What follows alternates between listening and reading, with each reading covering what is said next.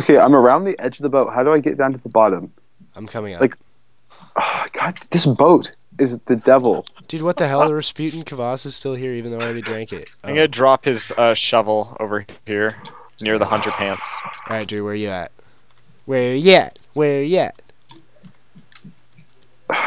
Oh, I see. you. You're I'm- going the right way. You're going the right way, bro. No, now you're going the wrong way. Fuck. Shit.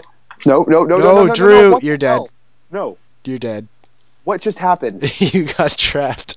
Ryan. Oh no! Yep. he did it. I didn't. I, I didn't even go close to the edge. I literally. We know. We've both died there. It like pulled me in. yep. oh, can we even bring his rifle to him? What the fuck? That's the dumbest thing I've of all the things that has happened to me in this game.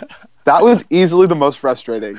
Yeah, I dude. was- it happened to both of us too. I was try I was even making like a cautious effort. I'm like, okay, I'm gonna be a conservative distance Yeah. away from the edge. I know. It's They're Yeah, I'm gonna go pick up his pants and the you is shovel. Why does everything kill you? Because it's DayZ, dude.